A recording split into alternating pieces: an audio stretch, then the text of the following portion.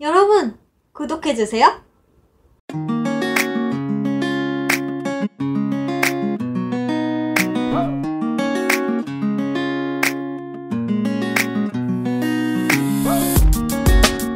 안녕하세요, 메이입니다.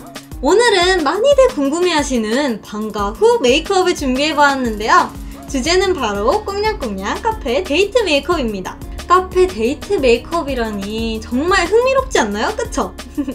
사실 모든 학생분들 방과 후에 친구도 만나야 되고 또 남자친구랑 데이트도 해야 되고 이래저래 볼 일도 되게 많잖아요. 그쵸? 바로 이런 방과 후 스케줄에 하기 좋은 메이크업들을 앞으로 방과 후 메이크업 시리즈로 알려드릴 건데요. 첫 번째, 방과 후 꽁냥꽁냥 카페 데이트 메이크업. 지금 빨리 시작해볼까요? Go go! 오늘 베이스 메이크업은 평소에 자신에게 아주 딱 들어맞는 베이스 제품이나 파운데이션을 이용해주시면 되는데요. 저 같은 경우는 울트라 지성이 되었으므로 마무리감이 뽀송한 이 아이를 사용해줄게요. 이렇게 손으로 얼굴에 찍어 발라준 뒤에 퍼프를 이용해 빠르게 이렇게 펴 발라줍니다. 이게 fixing되기 전에 빠르게 펴 발라줘야 얼룩지지가 않더라고요.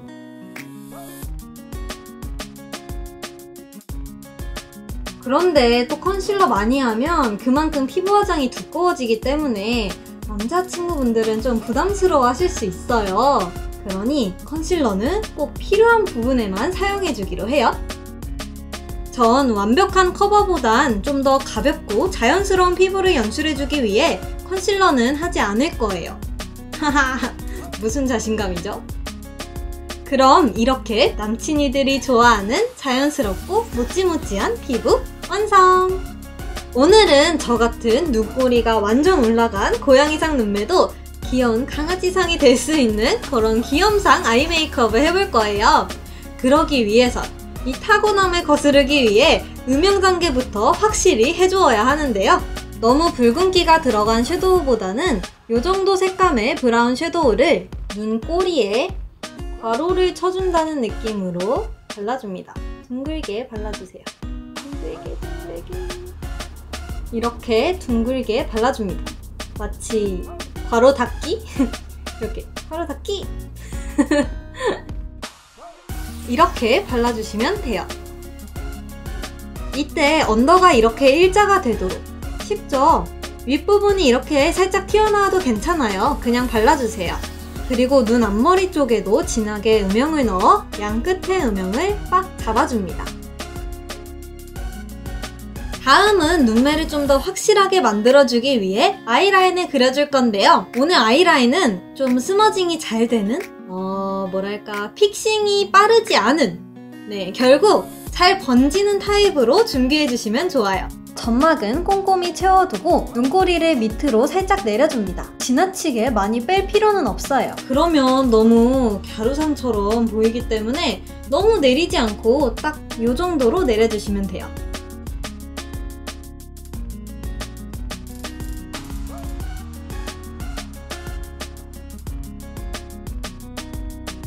이제 언더를 그려줄 건데요. 언더는 눈 앞부분부터 중앙까지 점막을 깔끔하게 채워주시면 돼요. 음? 이렇게? 지금부터 또 중요합니다. 아까 섀도우 바를 때 언더를 일자로 만들어 주었잖아요. 그러니까 라인도 똑같이. 그러나 여기를 진하게 다 채워버리면 굉장히 무서운 느낌이 들 수 있으니 라인을 쭉 그려주시고 라이너 브러쉬를 이용해 smudge 시켜줍니다. 그럼 어느 정도 눈매가 잡혔죠? 마지막 정점으로 이 부분 이 부분에 난 여기를 따라 일자로 쭉 갈 거야 라는 뉘앙스로 살짝 일자로 그려줍니다. 쉽죠? 그럼 어느새 이렇게 귀여운 강아지상 같은 눈매를 얻으실 수 있어요. 이런 메이크업에서 또 빠질 수 없는 게 영롱한 펄들이죠. 흰 펄은 조금 가벼운 느낌이고 골드 펄은 너무 그윽해 보여서 좀 더 로맨틱한 분위기를 낼 수 있는 로즈빛이 도는 glitter 펄을 이용해 줄게요. 언더 일자를 유지하는 선에서 눈 중앙에만 이렇게 펄을 넣어줍니다. 그리고 눈두덩이 아까 중앙이 비었었죠? 이 부분에도 톡톡 찍어서 화사함을 더해줄게요. 음, 어떤가요? 너무 매력적이지 않나요? 오늘만큼은 뷰러 없이 마스카라로 밑으로 길게 뻗은 속눈썹을 연출해 줄 건데요. 살짝 무거운 제형의 마스카라를 사용해 주시는 게 좋아요. 앞부분과 중앙은 가볍게 한두 번만 쓸어주고 바로 눈꼬리 쪽으로 넘어가는데요. 아까 내려준 아이라인과 위치를 같게 해준다는 느낌으로 이렇게 밑으로 빗어서 처진 듯한 속눈썹을 만들어줍니다. 그리고 언더로 가서 언더는 끝부분만 발라줄 건데요. 열심히 강아지 눈매를 만들어줬는데 끝부분까지 다 칠해버리면 눈매가 망가지겠죠? 그러니 아까 라이너로 포인트 주었던 이 부분 있죠? 이 부분에만 살짝살짝 발라줄게요.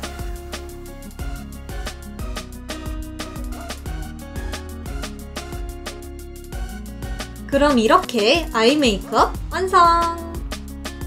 눈썹은 평소 그리시던 대로 가볍게 그려주시면 돼요.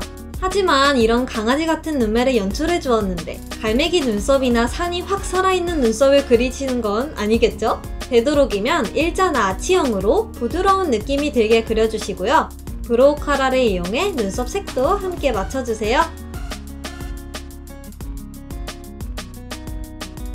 블러셔는 이 두 가지 제품을 이용해 줄게요. 하나는 정말 파스텔 톤의 연핑크, 하나는 살짝 차분한 느낌의 핑크 블러셔예요. 먼저 파스텔 톤의 연핑크 색상을 볼 앞부분에 이렇게 발라줍니다. 그리고 나서 차분한 핑크 컬러를 살짝살짝 발라 컬러를 넣어주세요.